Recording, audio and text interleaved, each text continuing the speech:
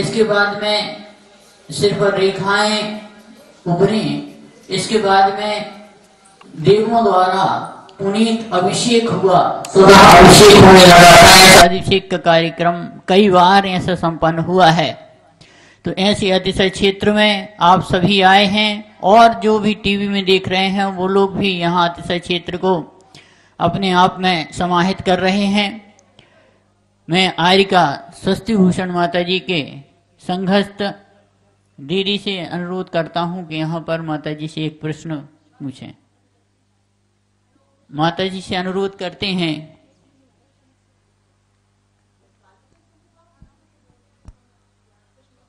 माता जी से अनुरोध करते हैं कि पंच कल्याणक के विषय में जो पात्र आदि बनेंगे, उसके विषय में थोड़ा सा आप प्रकाश डालने की कृपा करें।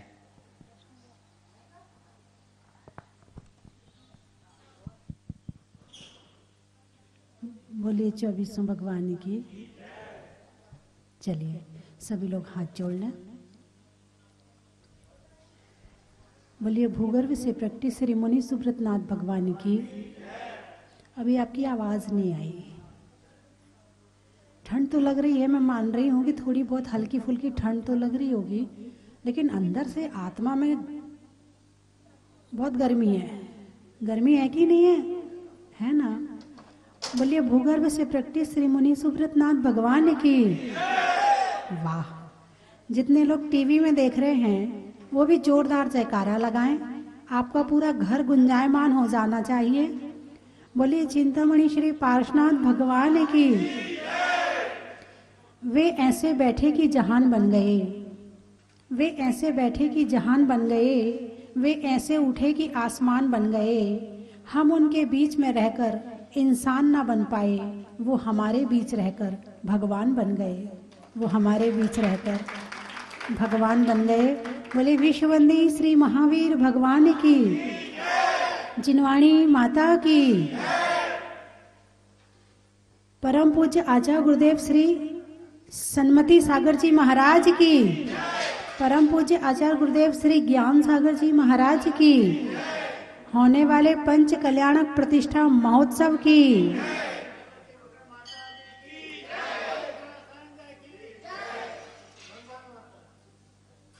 भैया जी का प्रश्न है कि पंच कल्याणक के इंद्रों के विषय में कुछ बताइए। इंद्र पद एक बहुत बड़ा पद है। स्वर्ग में इंद्र होते हैं। भवड़ालय चालीसा, बिंतर देवाण होंति बत्तीसा, कप्पा मर चौबीसा, चंदो सूरो नरो तिरियो। द्रव्य संग्रह में आचार्य नेमीचंद स्वामी जी ने जब मंगलाचरण किया और मंगलाचरण के बाद उसकी टीका हुई उस टीका में जो श्लोक आया, जो गाथा आई, वो ये है। और बड़ा आनंद आया, क्योंकि जब मंगलाचरण में कहा, जीव मजीवम दब्बम, जिणवर वसहैण होण, जैन निदिठम देविंद विंद वंदम। इस लाइन के लिए ये गाथा लिखी गई। देविंद विंद वंदम, यानी जो देवेंद्रों के द्वारा वंदित हैं। वंदे तम सव्यदा सिरसा, मैं उनको सिर झुकाकर नमस्कार करता हूँ। तो देविंद विंद वंदम कितने देवेंद्र हैं, कितने इंद्र हैं? तो कहा, सौ इंद्र हैं। कौन कौन से हैं? तो फिर बताया कि व्यंतरों के बत्तीस,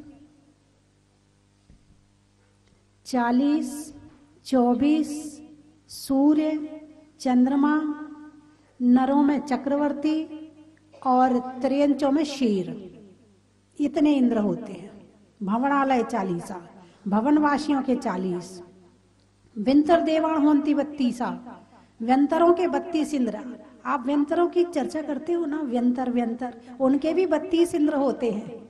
व्यंतर देवाण होती बत्तीसा कप्पा मर चौबीसा।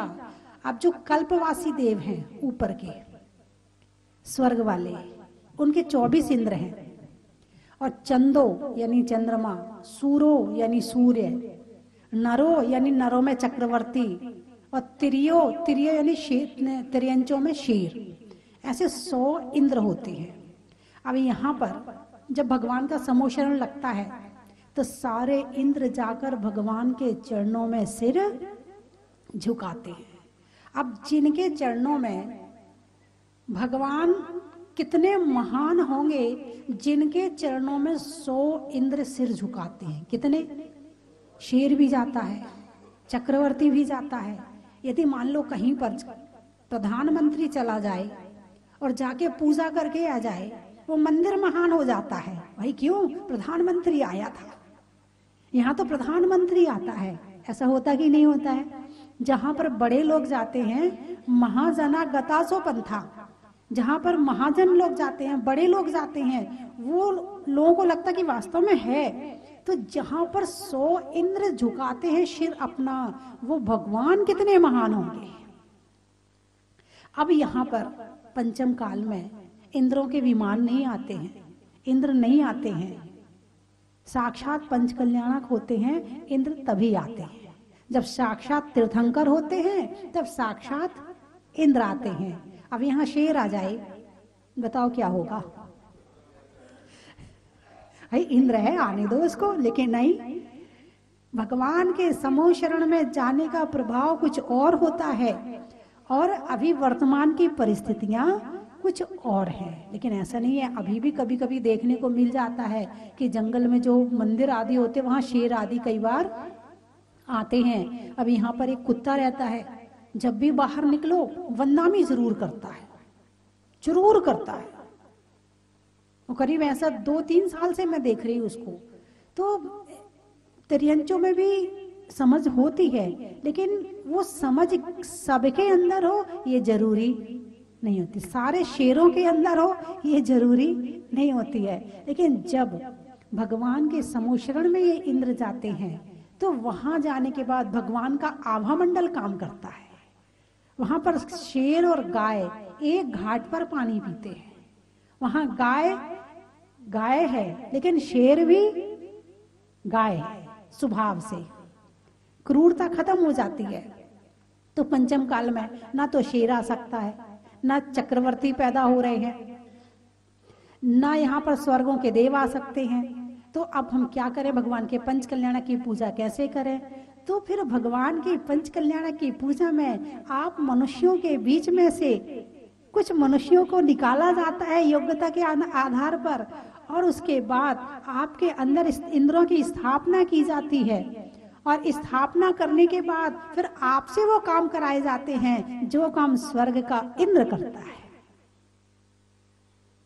कम से कम आप जब इंद्र बनेंगे बनेंगे, लेकिन उसकी अनुभूति अभी ले लो आप।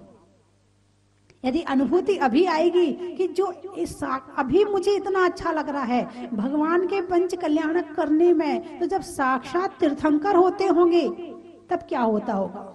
देखो वो आ गया। जिसकी मैंने चर्चा की थी, वो आके बैठ भी गया।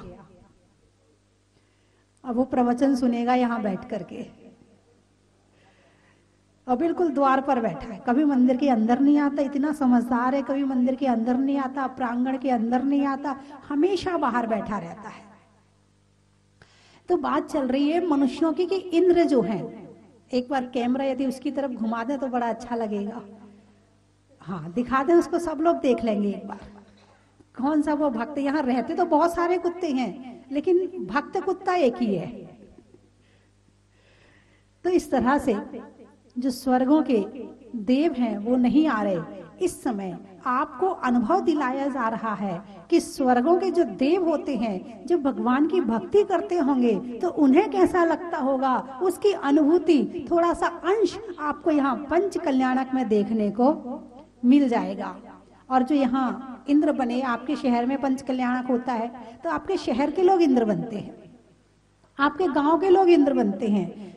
लेकिन यहाँ पर उड़ीसा का सौधर्मेंद्र कौन? उड़ीसा का सौधर्मेंद्र राजस्थान का कुबेर। उत्तर प्रदेश के महायज्ञ नायक और माता पिता महाराष्ट्र के। बात समझ में आई कि नहीं आई? शहर के नाम भी बताऊँगी। और माता पिता महाराष्ट्र के। यानी यहाँ पूरा भारत इकट्ठा हो रहा है। अकेले एक जगह के इंद्र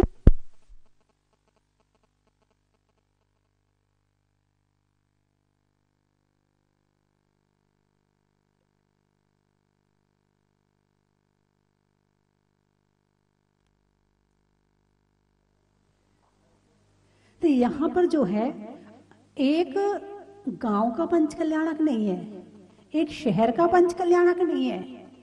जो मंदिर बना है वो एक शहर वालों ने नहीं बनाया है। यहाँ पूरे विश्व ने मिलके मंदिर बनाया है।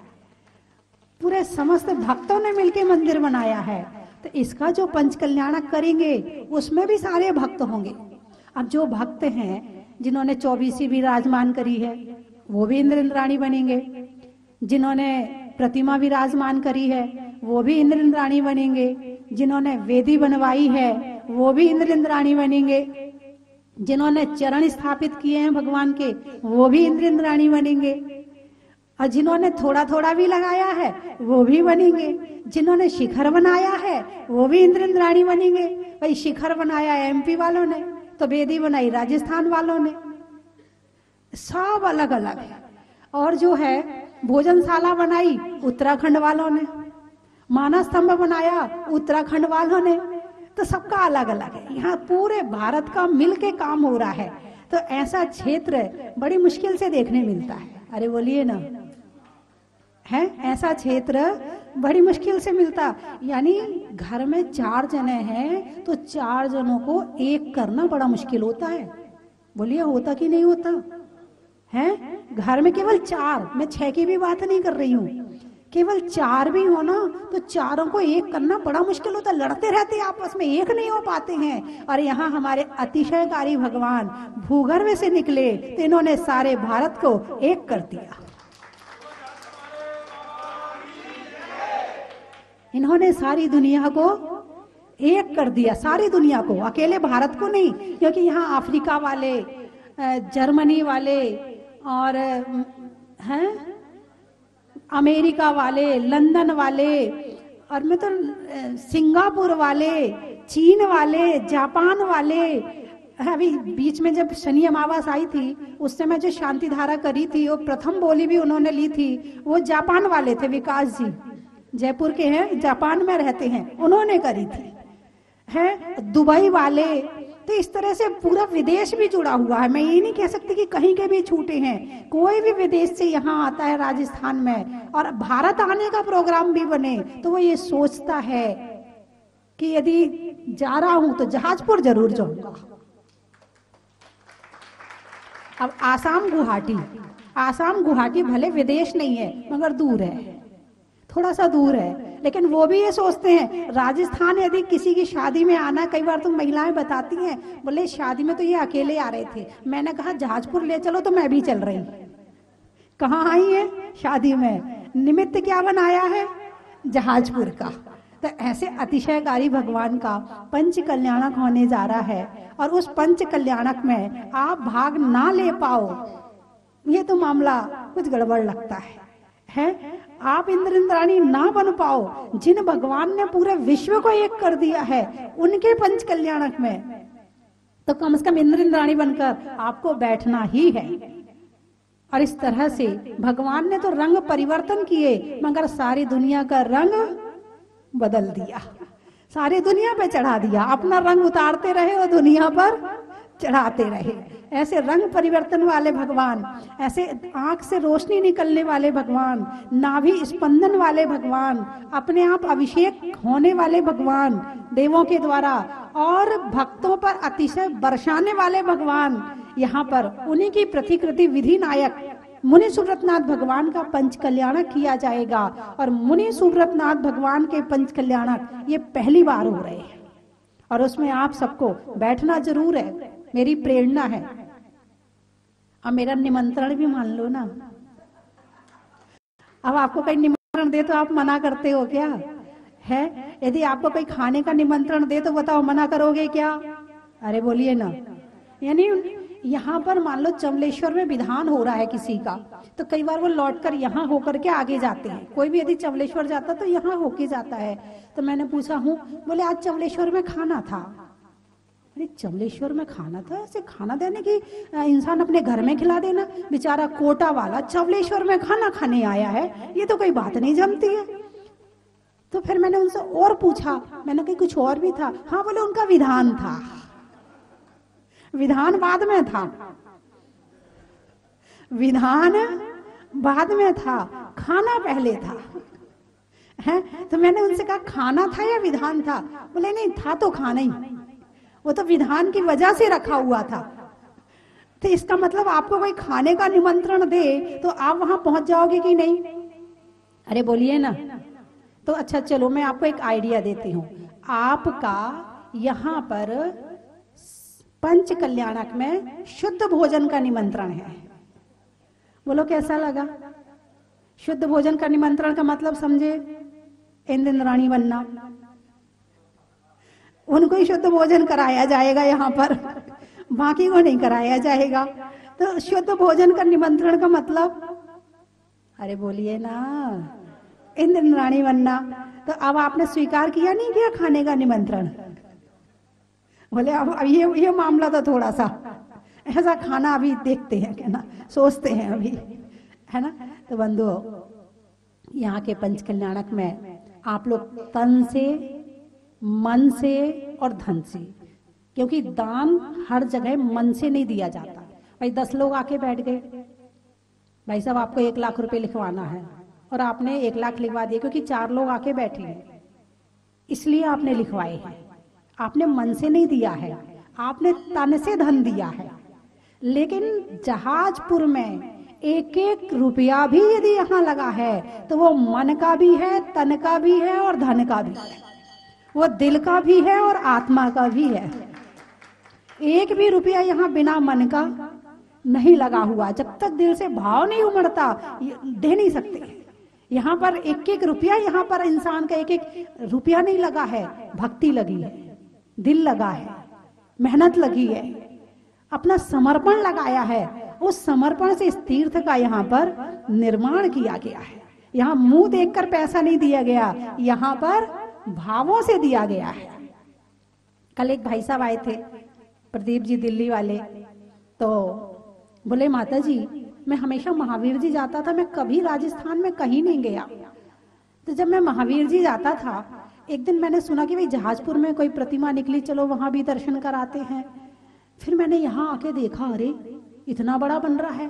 फिर मन मैं, मैं बोले मैं कभी बोली नहीं लेता हूँ। फिर मैंने यहाँ बोली ली एक एक लाख ग्यारह हज़ार की बोली ली।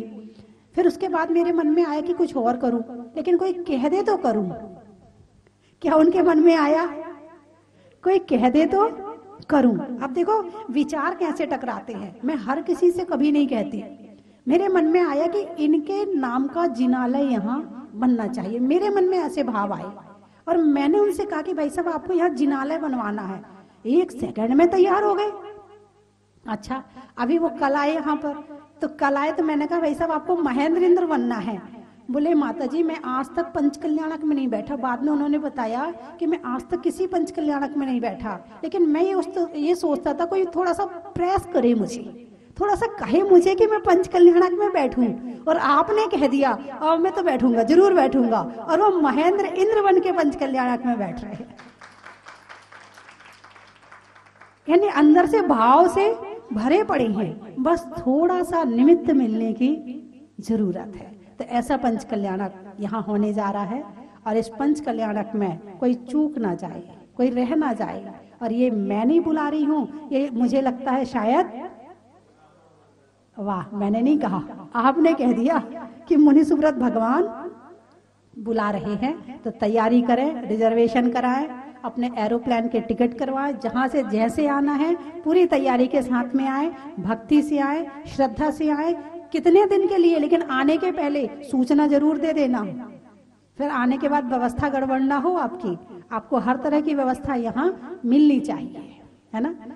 निधियों में माणवक का विद्वानों में चाणक का और होने वाले पंच कल्याणक का बुनाई में बुनने का, चावल में चुनने का और आपके इंद्र इंद्राणी बनने का। अनाज में दाने का, इनाम में पाने का और धन रूपी दिल यहाँ लगाने का। चलिए, अगला प्रश्न। हेलो। माता जी से, अर्हतवंती माता जी से निवेदन के हुए यहाँ पर प्रश्न माता जी से पूछें। माता जी बंदामी बंदामी बंदामी। मा, माता जी मेरा एक प्रश्न है मेरे मन में बार बार आता है। स्वर्ण सौभाग्यवती महिलाओं का पंच कल्याणक में सबसे बड़ा क्या महत्व है? आप बताइए कृपा करके। महिलाओं का। देखो भाई तुम्हारा नाम आ गया। महिलाएँ अपने कान खड़े हो गए महिलाओं के। हाँ हमारा नाम आ गया। थोड़ा सा वॉल्यूम बढ़ाना जरा सा वॉल्यूम महिलाएँ, नदी में नाव का, शरीर में पाँव का और धरती पर महिलाओं का। सृष्टि के सृजन में सबसे ज़्यादा, सृष्टि के सृजन में सबसे ज़्यादा योगदान महिलाओं का है। और महिलाएँ सौभाग्यवती भी कही जाती एक होता भाग्य और एक होता सौभाग्य। जहाँ सौभाग्य हंड्रेड हंड्रेड भाग, हंड्रेड लक इकट्ठे होते हैं, वहाँ एक सौभाग्य होता है। तो सौभाग्यवती महिलाएँ, यहाँ पर पंच कल्याणक में अपना योगदान करेंगी। और वो इंद्राणी है ना, वो नहीं कर सकती है। ये सौभाग्यवती महिलाएँ अलग से बनाई जाएँगी।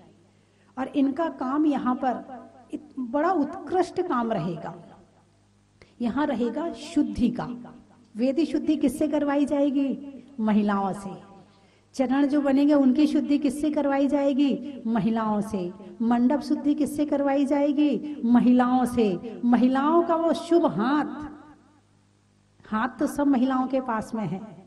मगर शुभ हाथ, कौन सा वो शुभ हाथ होगा जो यहाँ पर शुद्धि का कार्य करेगा, जिस पर भगवान विराजमान होंगे?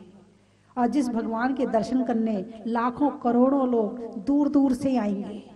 ऐसे भगवान की वेदी शुद्धि का सौभाग्य महिलाओं को दिया जाता है। और महिलाएँ तो महिलाएँ हैं, घर को स्वर्ग भी बना देती हैं। सब तरह की महिलाएँ होती जैसे पाँच उंगलियाँ बराबर नहीं है वैसे सब तरह की महिलाएँ बराबर नहीं है। नाना कम्मा, नाना जीवा, नाना जीव है, नाना कर्म है।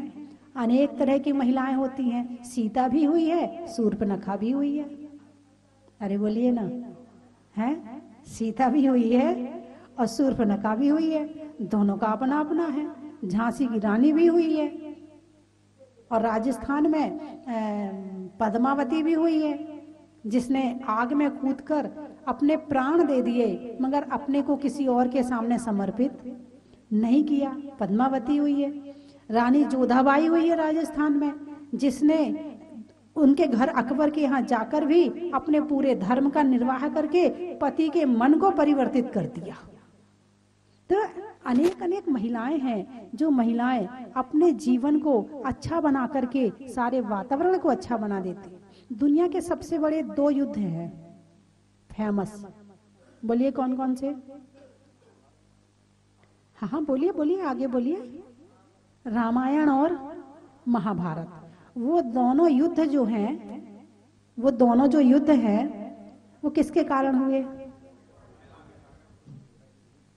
अरे बोलिए ना, इसमें डरने की क्या बात है? अब हुए हैं तो हुए हैं। दोनों युद्ध किसके कारण हुए हैं? महिलाओं के कारण तो नारी को कम मत समझना। हाँ आप बहुत छोटा समझते हो। नारी पर्याय चौरासी लाख योनियों में सेकंड लास्ट है। उत्तम तो है पुरुष पर्याय। उत्तम कौन सी है? पुरुष पर्याय। उससे जो पहले वाली है, वो नारी पर्याय है। जैसे गाड़ी के दो चक्के होते हैं ना, वो उसके बिना, दो चक्कों के बिना ना रथ चलता है, ना गाड़ी चलती है, ना साइकिल चलती है। ऐसे ही ये संसार दो के बिना चलने वाला नहीं है। तो नारी का स्थान प्रमुख भूमिका है नारी की। और पंच कल्याणक में अलग से जैसे कि मुख्य वेदी की जो शुद्धि होगी उसके लिए जो बाजू वाली वेदी होगी, उसके लिए, जो चौबीसी वेदी होगी, उसके लिए, जो चौबीस चरण होंगे, उसके लिए, जो नीचे सहस्रकूट जिनालय बने हैं, उसके लिए, बिल्कुल सबकी अलग अलग शुद्धि के लिए अलग अलग महान नारियों का चुनाव किया जाएगा। उसमें यदि उनके पति आ जाते हैं तो उत्कृष्ट है साथ में। वो भी विधान में बैठे वो भी पूजा में बैठे और यदि नहीं भी आते हैं तो नारी का यहाँ पर एक स्थान दिया जाएगा अलग से। और उनको विधान की, पूजन की व्यवस्था भी अलग से करी जाएगी। और समय समय पर शुद्धि आदि का कार्यक्रम उनके हाथों से करवाया जाएगा। तो जो नारी ये चाहती है कि मैं इस काम को करूँ तो पीछे मत रहना। और कई बार होता है, पतिदेव बहुत बिज़ी रहते हैं, नहीं आ पाते हैं। और उनके मन में रहता है कि देखो मैं इनके कारण से भगवान की पूजा, भगवान की भक्ति नहीं कर पा रही हूँ। तो बिल्कुल मन में मलाल ना रखें। बिल्कुल मन को खराब ना करें। आप यहाँ पर आमंत्रित हैं और भगवान की वेद शुद्धि जैसा महान कार्य करें, इससे बड़ा और क्या कार्य हो सकता है? तो सौभाग्यवती महिलाओं को ये कार्य दिया जाएगा, पुरुषों के हाथ से नहीं करवाया जाएगा।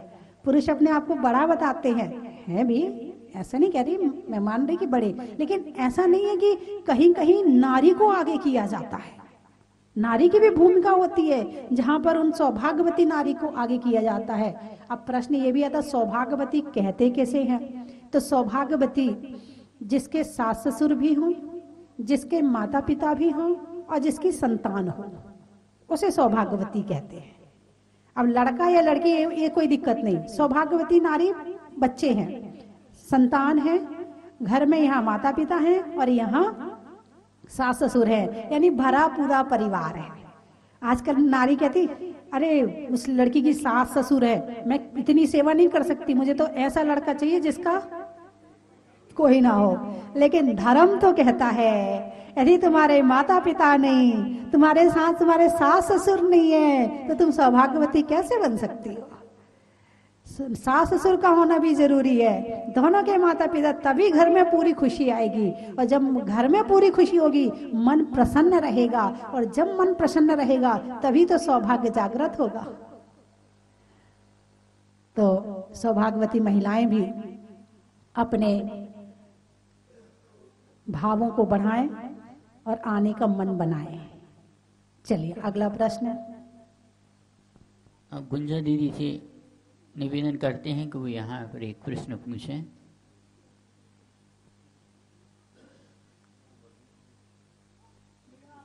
हाँ चलिए आप। वंदामी माता जी वंदामी माता जी वंदामी माता जी मैं अंकित जैन अतिथि क्षेत्र महल का मेरठ से हूँ माता जी मेरा एक प्रश्न है प्रतिक्रमण में प्रत्याख्यान में क्या अंतर होता है?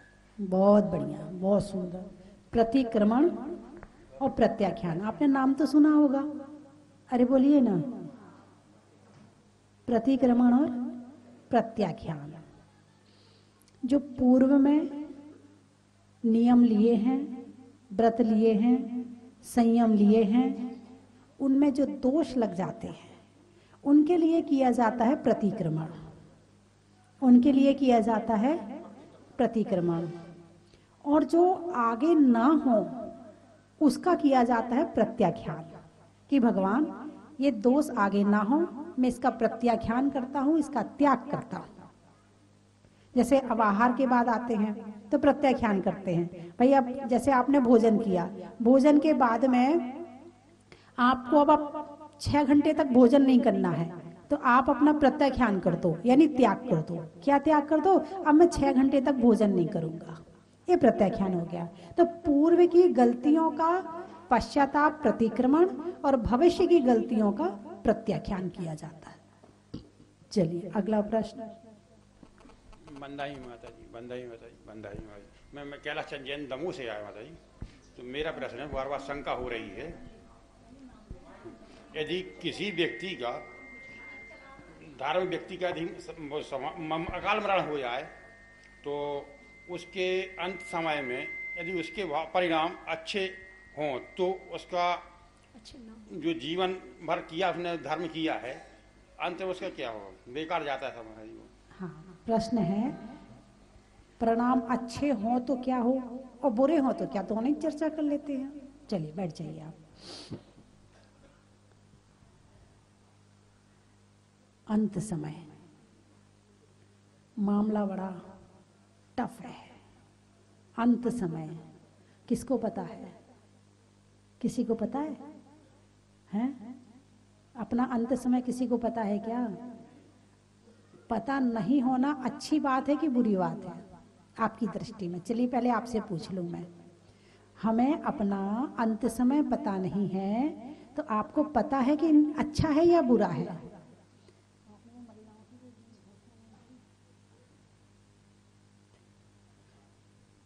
बोलिए, अच्छी बात है या बुरी बात है? अच्छी बात है। पता होना पता नहीं होना बहुत बढ़िया।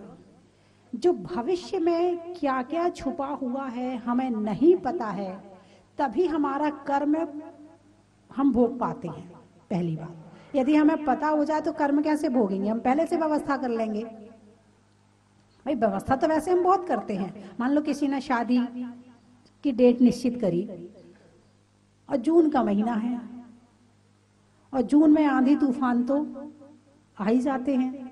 अब व्यवस्था तो बहुत करी और भगवान से प्रार्थना भी करी, लेकिन आंधी तूफ़ान का पता नहीं है कि शादी में आंधी आएगी या आपने अपनी तरफ़ से क्या किया, बहुत व्यवस्थाएँ करी, लेकिन आंधी तूफ़ान का पता नहीं होता, आपके हाथ में नहीं है। तो हमारे हाथ में हमारा भविष्य नहीं है, या तो कर्मों के हाथ में है। किसके हाथ में है? कर्मों के हाथ में और आपका पुरुषार्थ अधिक हो तो आपके हाथ में है। जब मंद कषाय चले, जब कर्मों का उदय मंद हो तो आप अपना पुरुषार्थ जागृत कर लें। उस समय सावधान होकर ज़िंदगी जिए और जिस समय पर तीव्र कर्मों का उदय हो, उस समय पर अपने को धैर्य रखें। दोनों बातें हैं। मंद उदय हो तो धर्म करें और तीव्र उदय हो तो धैर्य रखें। ये दो चीज़ों के साथ जो जीता है, वो जीत जाता है। जो इन दो चीज़ों के साथ जीता है, वो जीत जाता है। और जीतना ही हमारे जीवन का लक्ष्य है।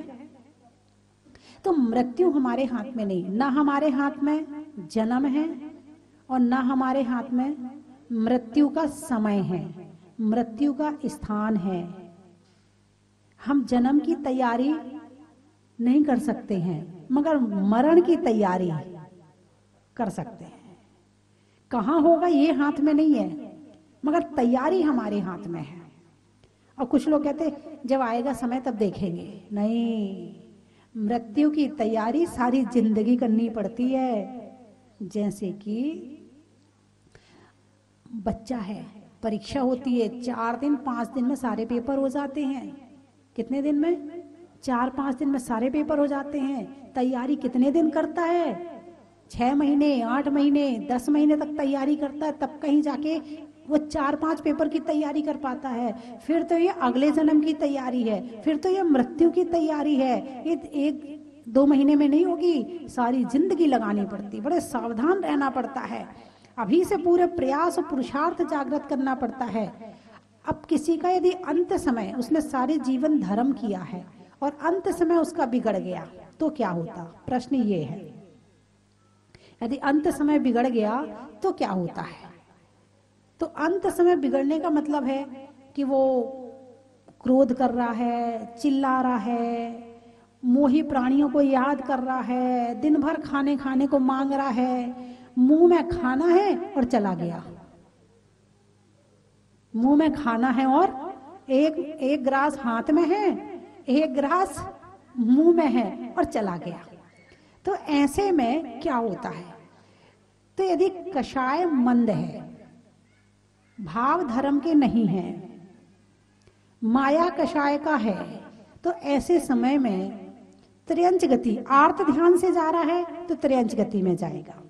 उसमें इष्ट वियोग, कोई चीज़ हमसे दूर चली गई, उसको याद करते करते गए, अनिष्ट संयोग जिसको हम नहीं चाहते हैं, उसकी टेंशन में गए पीड़ा, चिंतन, बीमारी की टेंशन में गए और निदान बंद। हे भगवान, अगले जन्म में ऐसा हो।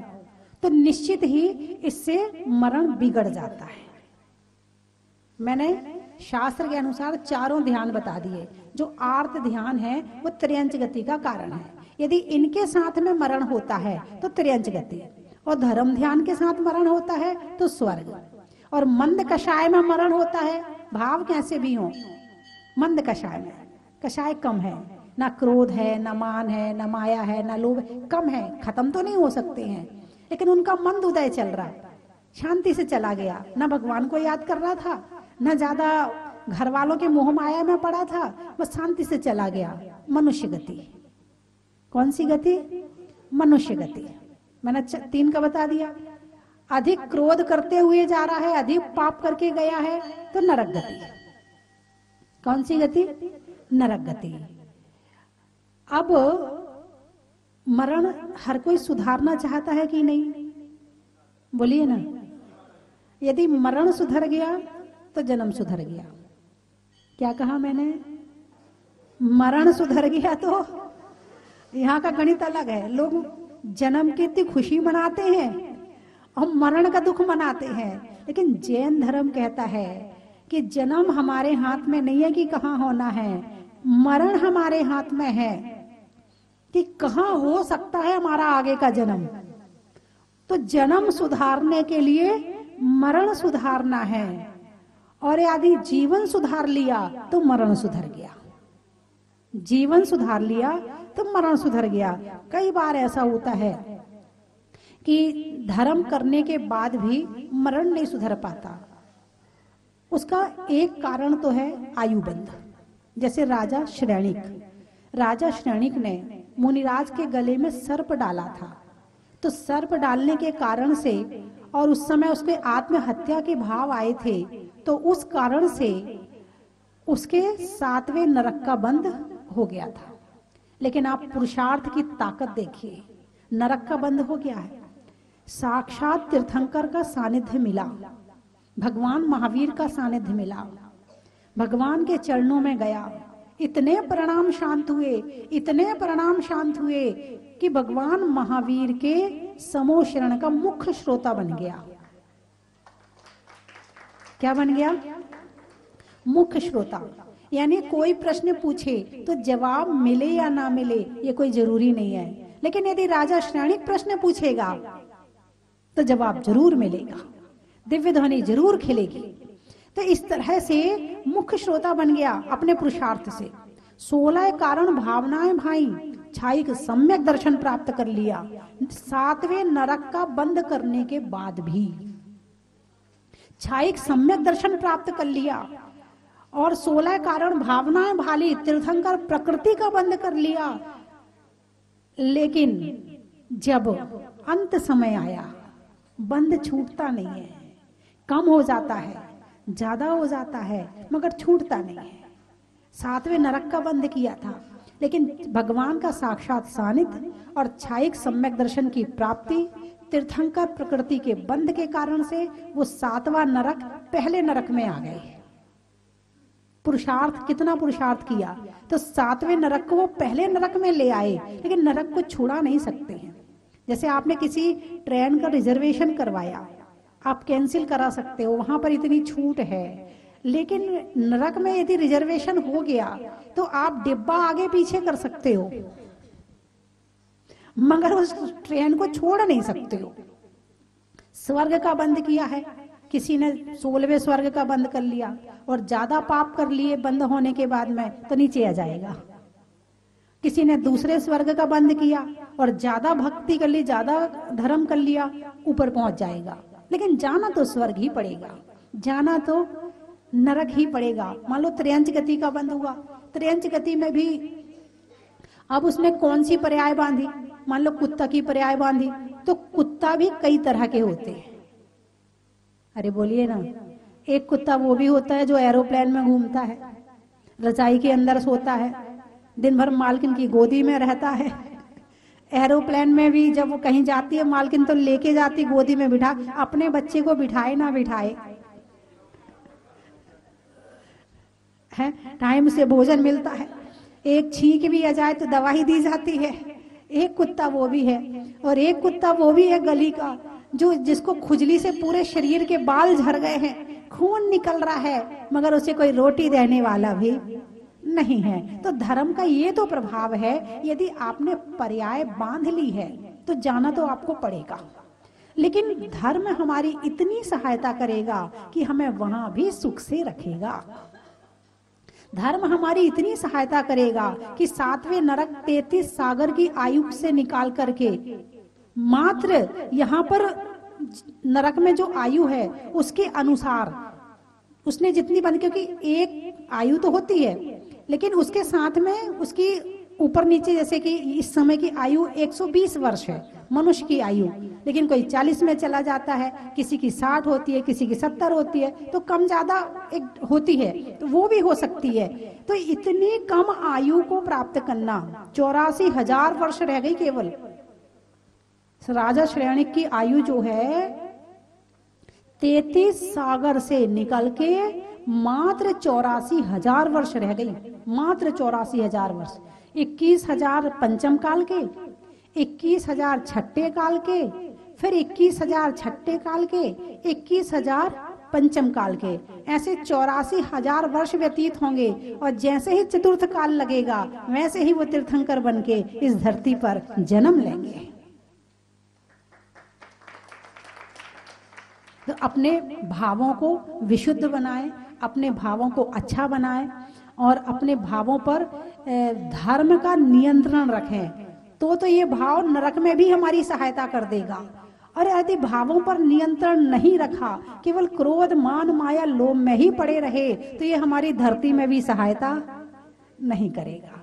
तो मरण बिगड़ रहा है या सुधर रहा है, ये हमारे हाथ में चलिए मैं तीन चीज़ें बोलूँगी। आपको कहना बड़ा ही महत्व है। क्या बोलना है आपको?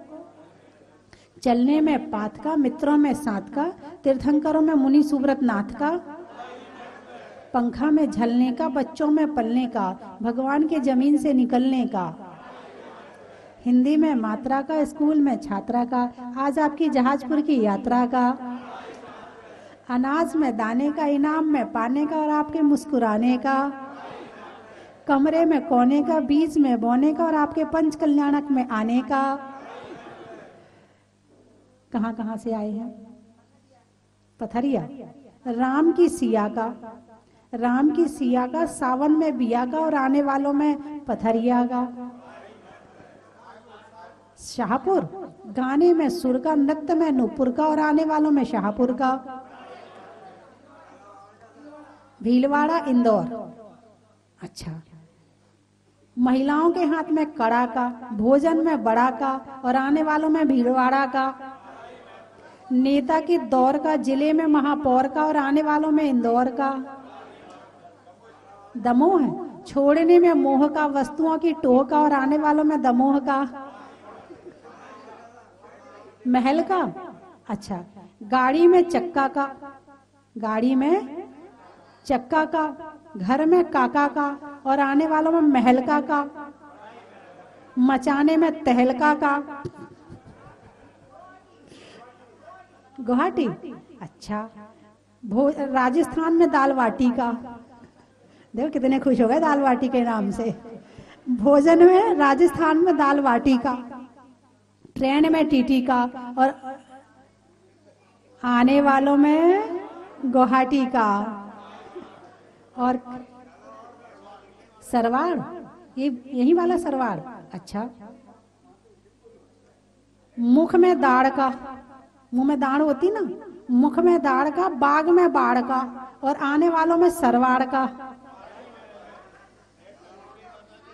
सागर, पानी में गागर का, वृक्षों में आकर का, और आने वालों में सागर का।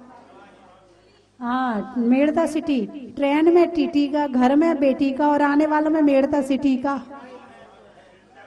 सिलचर अच्छा। पशुओं में चर का, पशुओं में चरका, पक्षी में पर का और आने वालों में सिलचर का शिवपुरी दीमापुर डिब्रूगढ़। वृक्षों में बड़का, बड़की जड़ का और आने वालों में डिब्रूगढ़ का। त्रियंचों में बिल्ली का। त्रियंचों में बिल्ली का, डंडा में गिल्ली का और आने वालों में दिल्ली का। झालावाड़ अच्छा। चावल के माड़ का, चावल के माड़ का और गुरुओं के बिहार का और आने वालों में झालावाड़ का। जरुआ खेड़ा जरुआ खेड़ा शब्द का अर्थ जानते हो? नहीं, मैं नहीं बता रही। आप मुझे बता देना। भोजन में बड़ा का, गर्मी में घड़ा का और आने वालों में जरुआ खेड़ा का। स्वर्ग में परी का, बैठने में दरी का और आने वालों में शिवपुरी का। आत्मा में एक का, मनुष्य में नेक का, करने में भगवान के अभिषेक का। बच्चों के लालना का, झुलाने में पालना का और आने वालों में जालना का। अभी गौर झामर? अच्छा स्वर्ग में अमर का, पाठों में भक्तांबर का और आने वालों में गौर झामर का। गुना अनाज में चना का पेड़ में तना का और आने वालों में गुना का। चलिए अगला प्रश्न। यहाँ पर पंच कल्याण प्रतिष्ठा महोत्सव में अभी मुख्य इंद्रों का बोली के द्वारा चयन हो चुका है। इसके बाद में अभी ब्रह्म ब्रह्मोत्तर लांतो कापिष्ट सातारा वहाँ साता ऐसे बारह इंद्र जो हैं उनका पाँच लाख इक्यावन हज़ार रुपये में हम यहाँ पर उस इंद्र को बन सकते हैं। बारह प्रतिन्द्र हैं, जो कि दो लाख इक्यावन हज़ार रुपया दे करके और यहाँ पर इंद्र बन सकते हैं। और सामान्य जो इंद्र हैं, वो 108 इंद्र रहेंगे। उनको एक लाख आठ हज़ार रुपया दे करके और यहाँ पर इंद्र बन सकते हैं।